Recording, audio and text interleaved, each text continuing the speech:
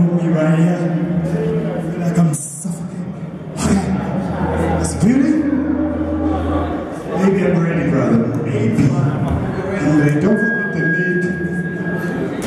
meat.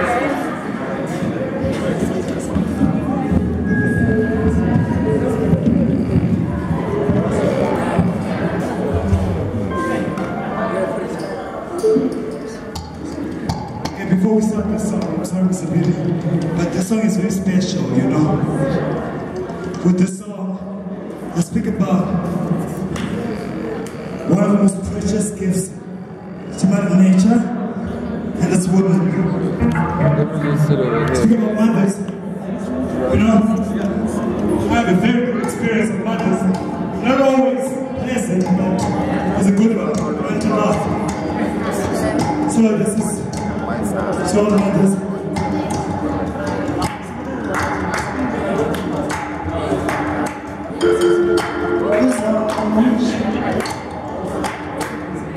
to all the mothers. Okay,